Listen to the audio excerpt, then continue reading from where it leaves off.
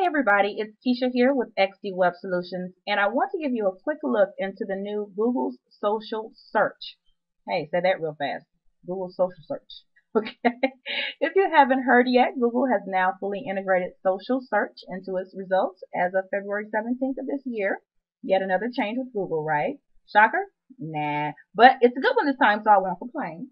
So what I'm about to show you not only solidifies why Google is the king of search engines, but it is huge. And if this doesn't put fire under your butt and make you see the benefits of being more social online, especially for your business, then I don't know what will. And it might not be my job to do so, but let's delve into it. Right on the official Google blog, they have an update um, about these social search.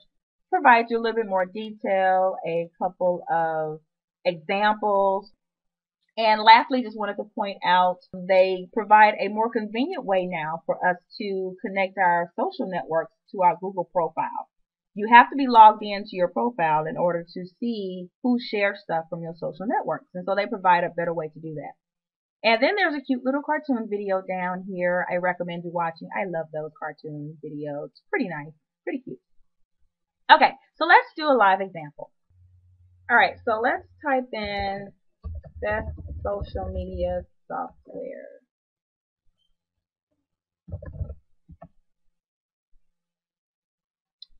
And look at that. The first result is one from my social network from Derek Maybe, who shared a Mashable link. Alright, so that was shared from Twitter because the account I'm logged in with is connected with my Twitter account. And let's see what else we have here in the organic results. Here's another one. Another friend of mine on Twitter has shared something about social media management, Twitter tools. So that's related to my search. And I will probably go see what this one is talking about because it's from someone that I know. And that's the whole point of social search. Seeing in the results those things that are shared by people in your network, people that you have already connected to, people that you trust. And so the, the idea is that you would go to those people as a resource first, especially if it's something that you're looking for. Say you're looking for restaurants in your area, or you're looking for opinions and reviews about something. You will probably look to your friends first, or at least those people that you are connected to. So that's one of the main purposes of social search. Again, why Google is the king of search engines. All right, let's do one more. Let's do, I don't know, what's another popular type of thing? Valentine's Day in St. Louis. See what comes up.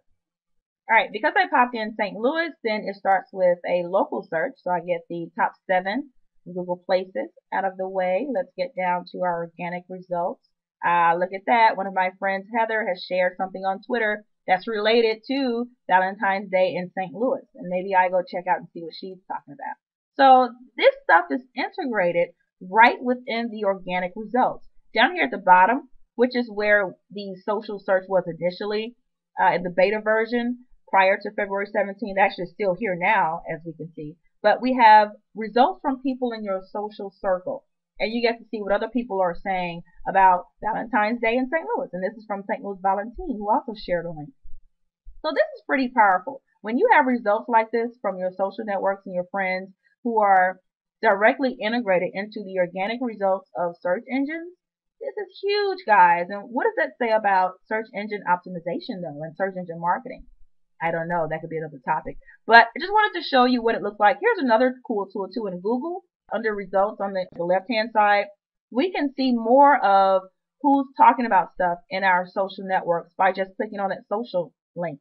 So now not only do I see what Heather is saying in St. Louis Valentine, which were on the first page in the organic results, but now I also see what other people are talking about anti-Valentine's Day cupcakes or customers cry scream over Groupons for Valentine's Day. So this is the type of stuff that I can look at and see what people are tweeting about here in my case because I have Twitter connected to my Google profile. What they're tweeting about related to my search.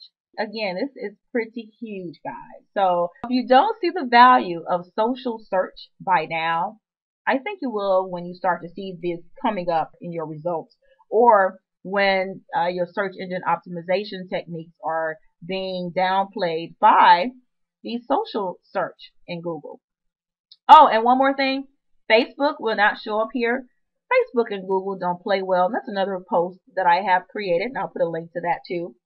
they don't play very well. Now Bing lists some Facebook uh, results in the social search, but not Google. We won't see Google. We won't see Facebook here.